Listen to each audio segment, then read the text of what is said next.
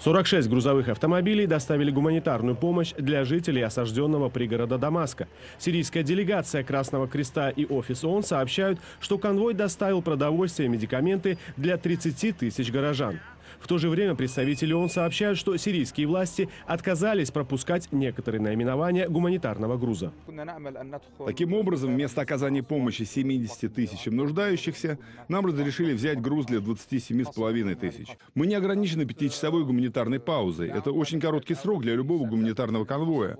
Мы предупредили власти, что нам нужно от 12 до 16 часов доставить груз, разгрузить его и вернуться в Дамаск. В воскресенье президент Асад в интервью государственным телеканалам пообещал, что его войска продолжат наступление на позиции повстанцев, несмотря на критику лидеров США и Великобритании, заявивших, что его действия привели к гуманитарной катастрофе. Противоречия между перемирием и боевыми действиями нет. Успехи, которых добилась сирийская арабская армия в Гуте вчера и позавчера, были достигнуты во время этого перемирия.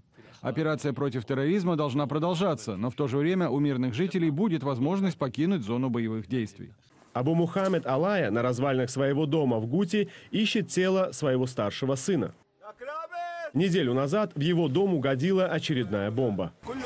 Я похоронил всех своих родных и друзей, погибших при бомбежке. Я надеюсь найти тело сына, чтобы похоронить его рядом с ними, чтобы навещать их на кладбище всех вместе.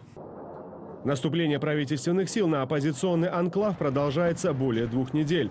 Ракетно-бомбовые обстрелы не прекращаются ни днем, ни ночью. Тысячи обитателей пригородов Дамаска вынуждены прятаться в подземных тоннелях и подвалах.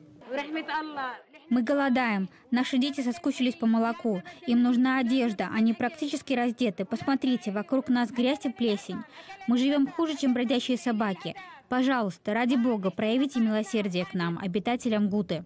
Правительственные войска вернули под свой контроль треть территории Восточной Гуты. Это удалось сделать при поддержке российской авиации. Таким образом, Дамаск открыто игнорирует требования резолюции Совета Безопасности ООН о 30-дневном прекращении огня на всей территории Сирии.